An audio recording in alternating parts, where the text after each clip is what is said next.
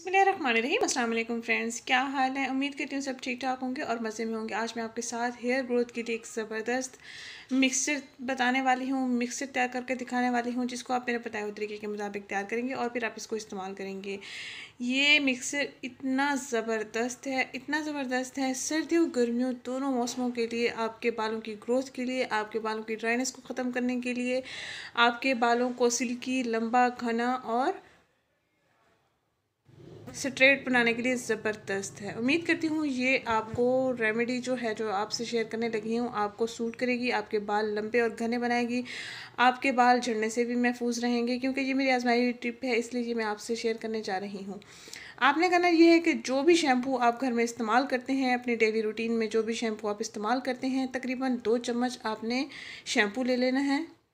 मैं जो shampoo use करती हूँ वो है सनसिल्क ब्लैक शाइन जो भी आप यूज़ करते हैं, अपने बालों के हिसाब से आपने वही शैम्पू यूज़ करना है। एक प्याले में तकरीबन दो चम्मच आपने शैम्पू ले लेना है। इसमें आपने एक चम्मच कोकोनट ऑयल और एक चम्मच आपने इसमें आंवला ऑयल ऐड कर लेना है।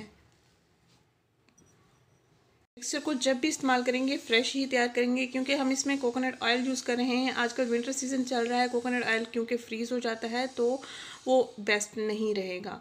तो आपने दो चम्मच शैम्पू लेना है एक प्याले में और उसमें आपने तकरीबन एक चम्मच आंवला ऑयल लेना है। आंवला ऑयल आप खुला ले लेंगे या पैकिंग वाला भी आप ले सकते हैं। मैं खुले ऑयल यूज़ करती हूँ क्योंकि मुझे वो प्योर लगते हैं और रिज़ल्ट भी अच्छे मिलते हैं। तो शैम्पू में हमने आंवला ऑयल तो डाल दिया। अब हम इन दोनों अज़ा को अच्छे से मिक्सअप कर लेंगे और उसके बाद हम इसमें कोकोनट ऑयल ऐड कर लेंगे। जब ये दोनों अज़ा अच्छे से यकजा हो जाएँगे तो हम इसमें कोकोनट आयल ऐड कर लेंगे।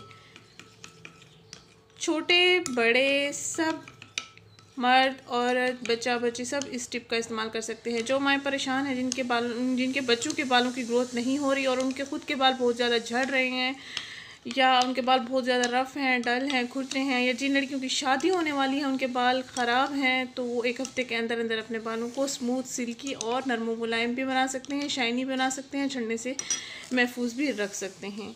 ये दोनों चीज़ें हमारी मिक्स हो गई हैं। अब हम इसमें कोकोनट ऑयल ऐड कर लेंगे। तकरीबन एक चम्मच। और फिर से नज़ा को अच्छे से मिक्स कर लेंगे। हफ़्ते में दो दिन आपने लाजमी इस मिक्सर का इस्तेमाल करना है अपने बाल पर। शैम्पू तो आप डेली ही करते होंगे।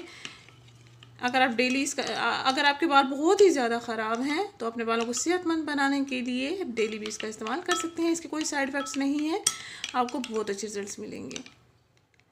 आप इसको बना के नहीं रखेंगे सर्दियों में।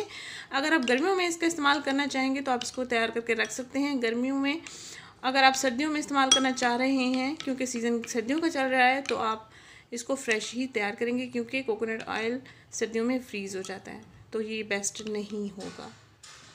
ये हमारा मिक्सर बिल्कुल तैयार हो चुका है। अब आप, जैसे कि शैम्पू करते हैं अपने बालों में, बात करने से पहले, वैसे ही आपने शैम्पू कर लेना है। उम्मीद करती हूँ ये टिप आपको अच्छी लगेगी, और आप इसको ट्राई करेंगे अपना एक्सपीरियंस कमेंट बॉक्स में साथ लाजमी शेयर कीजिएगा। मिलते हैं नेक्स्ट वीडियो में। थैंक यू अल्लाह हाफिज़